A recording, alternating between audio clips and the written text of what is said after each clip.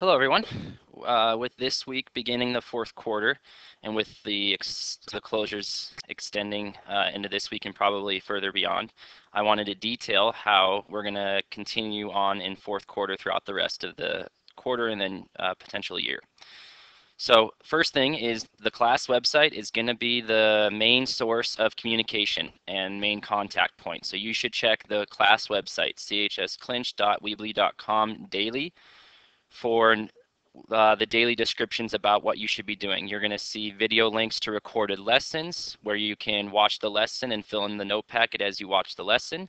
You can see where I posted the assignment details and then where I'll post assessment links, quizzes, and tests. So the takeaway from this page is that the main source of material is going to be the class website. So check the class uh, website daily. Uh, we're going to start to turn assignments into teams. So my I had uh, my stats class kind of run a demo trial of this. Uh, they gave me some feedback regarding the benefits of using Teams over having people email me assignments, and they felt that because so many of their other classes were using Teams, that it would be best if we just started to use Teams to turn in assignments. So we will start to turn in assignments on Teams. You'll see me post assignments to Teams, and that's where you'll be able to find um, assignments posted that you can then upload your assignment to get graded. More on that in a little bit. Quizzes and tests, however, I'm going to post links to on my class website. So quizzes and tests will be done kind of like we have already on Google Forms. So uh, homework assignments will be turned in on Teams, but you'll do quizzes and tests using Google Forms through links that I will share on the class website. Office hours. Um, I will be available for office hours regularly for any questions. Uh, my uh, set time frame for office hours right now is going to be on Tuesdays and Thursdays through Zoom. You will need a password to join the meeting, and I will send out that password through Remind. Tuesdays and Thursdays, the office hours will be between 10 to 11 a.m., and I'll show you where a link uh, shortcut to the class website is uh, in just a moment. Actually, let's yeah, let's do that right now. So uh, here's the class website. This is where you should be going daily. And if you hover over the COVID tab, you can click on the class that you are enrolled in. And this is where I will detail like the uh, expectations for every single day. At the very top is where I posted just the general description kind of what I'm going over right now.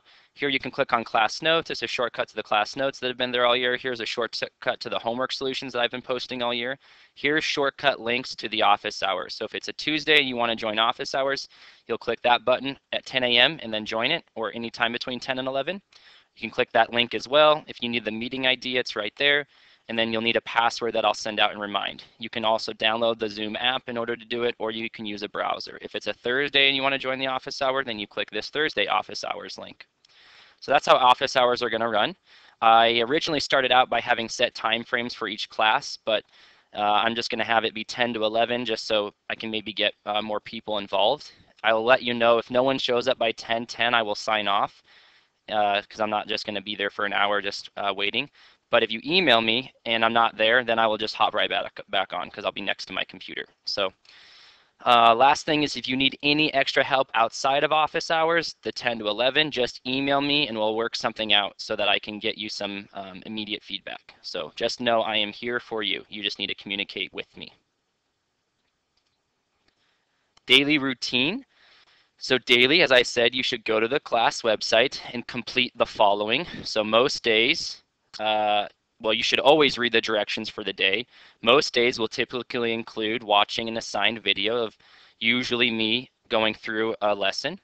Then you should complete any of the assigned homework and then turn that in on Teams. And this is how I would like you to turn it in on Teams. You need to take a clear photo in portrait. What I mean by that is you need to take the picture vertical, not sideways, not upside down, in portrait mode. So vertical, a clear photo in what we call portrait mode and then uploaded the assignment in Teams. If you take it horizontally or upside down and I need to re-download it and rotate it myself, the max you get is a 4 out of 5 on that.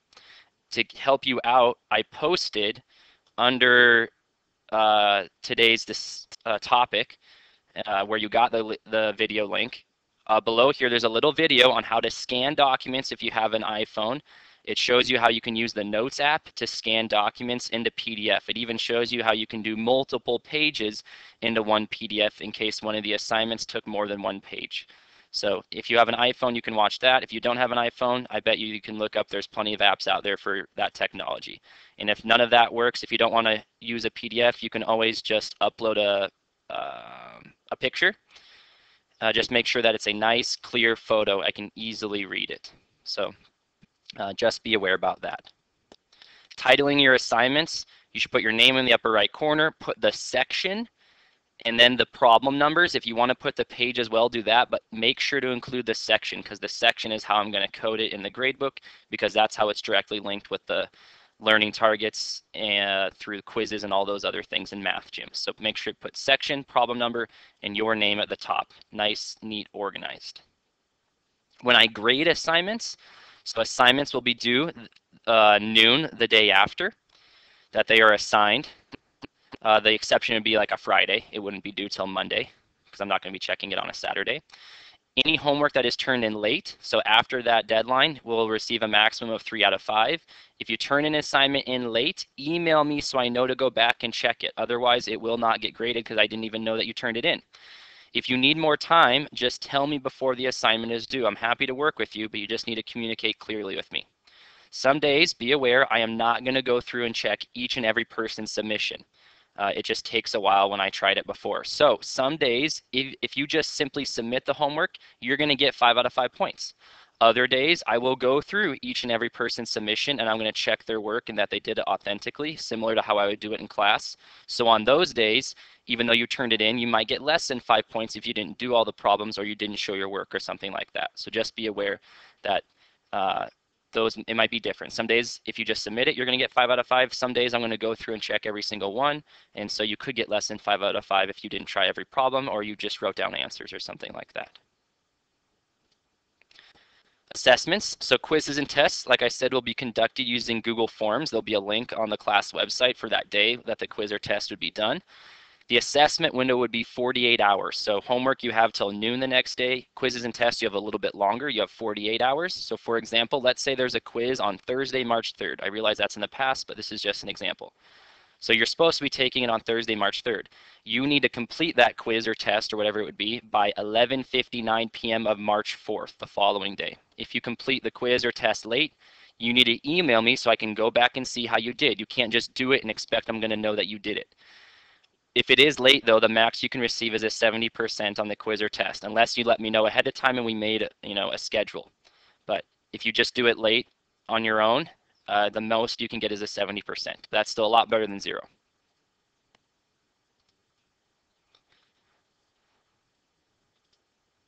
last two things, uh, just know we will get through this online thing together, but we need to work together. I can be flexible with you, but I need to know what's going on before something is due.